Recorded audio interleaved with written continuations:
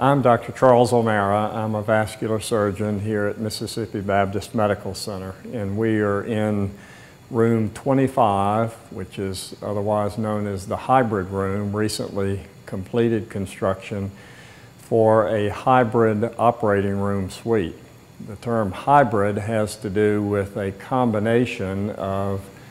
radiographic imaging techniques with an operating room environment, thus allowing for procedures to be done that require very sophisticated radiographic imaging techniques with fluoroscopy in combination with open surgical technique and an environment that's conducive to doing both of those uh, components uh, extremely well. In terms of this being an operating suite environment, this has all of the characteristics of a typical operating room with uh, standard OR lighting, ceiling mounted, um, and anesthesia equipment for general anesthetic administration, monitoring devices for hemodynamic uh, uh, monitoring of blood pressure and other vital signs during the operation, um, and also a very spacious environment for the variety of different uh, equipment needs that are necessary for a full open surgical environment as well as the personnel involved in doing uh, many of the open procedures. In addition, the room incorporates the very latest technology for radiographic imaging with uh, C-arm fluoroscopy uh, having been the standard in the past. That for us was a, was a um, mobile unit that we brought into the room. It provided uh, versatility, but it did not have the uh, imaging resolution and imaging capabilities of a standard cath lab imaging suite. Um, on the other hand, the equipment in this hybrid room entails that sophisticated imaging equipment. This is a Philips Allura uh, FD20 system that involves, as you can see, a, uh, an imaging uh, uh, C-arm adjacent to the operating table. And it has fairly remarkable responsiveness to various uh, imaging orientations that are required during operations. Um, you can see that the table, uh, which is also an integral part of this entire hybrid environment, has the feature of being completely free floating over the extent of the table where the patient is lying and in that area of the body that needs to be imaged for the procedure. And the table is uh, very responsive. It uh, is controlled by a panel attached to the side of the table during an operation or a uh, hybrid procedure a drape covers the patient, of course, for sterility, but the, a plastic see-through portion of the drape allows for this control panel to be easily accessible by the operating team, thus providing very quick and, and responsive um, uh, maneuvers of the C-arm and, and of the table itself. Um, this demonstrates some of the maneuvers of the imaging equipment. You can see the, the imaging uh, tube, the flat screen imaging device uh, goes quickly from a, from a portrait to a landscape orientation. Um, the uh, unit itself will take an orientation of a variety uh, of different methods in order to have optimal imaging for the operation at hand. The table itself uh, also is very responsive. Um, it will cradle side to side very easily. Um, and it will also tilt to provide orientations that are appropriate to the operation being done and then it will automatically with one button come back to a standard uh, preset orientation. this gives you a little idea of how responsive the equipment is and, and also entails safety features. Uh, for example, there is a sensing device on the edge of the flat screen imaging part of the,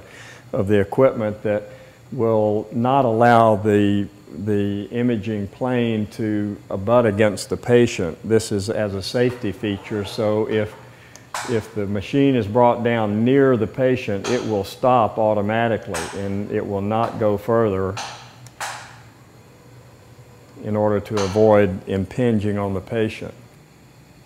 Hybrid operations uh, are a term that, as I mentioned earlier, involves a combination of sophisticated radiographic techniques in combination with open surgery to accomplish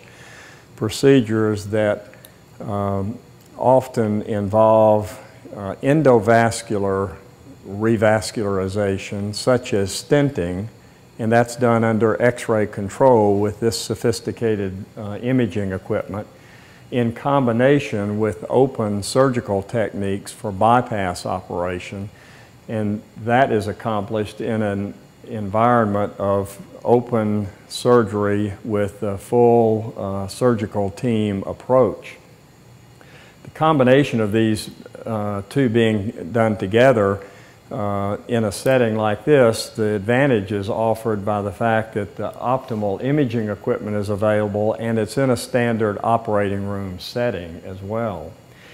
This initially was thought of in terms of hybrid vascular operations or peripheral artery revascularizations, such as a combination of iliac artery stenting with a femoral popliteal bypass being done in a patient who needed revascularization at two different levels in order to achieve satisfactory restoration of blood circulation to the legs. In addition, the hybrid approach has been uh, in, uh, brought to, to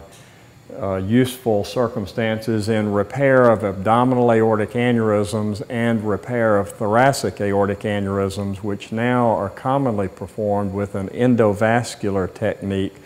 that involves a small incision in each groin for the placement under x-ray control with this sophisticated imaging equipment the placement of an endograft or stent graft across the area of the aneurysm, whether it be in the abdomen or the chest, to allow a sealing of the aneurysm out of the circulation and thereby to repair the aneurysm without the need for a long incision on the abdomen or the chest. In addition to the the, this room being used for hybrid operations, it also has the versatility of being able to be used for strictly open surgical procedures. And that can be done easily by this table rotating and then moving out of the center of the operating room, which leaves an entire operating area for a standard OR table to be used for a regular open surgical procedure. In addition, the room can be used for percutaneous procedures, typically done in the cath lab, but uh, that can also be done in this environment as well. One other unique advantage of our situation here at the Baptist with this room is this hybrid operating room is located in the operating room suite of the hospital. It also is located immediately adjacent to the cath lab, there is a connection, small corridor between the two, the cath lab and this hybrid room,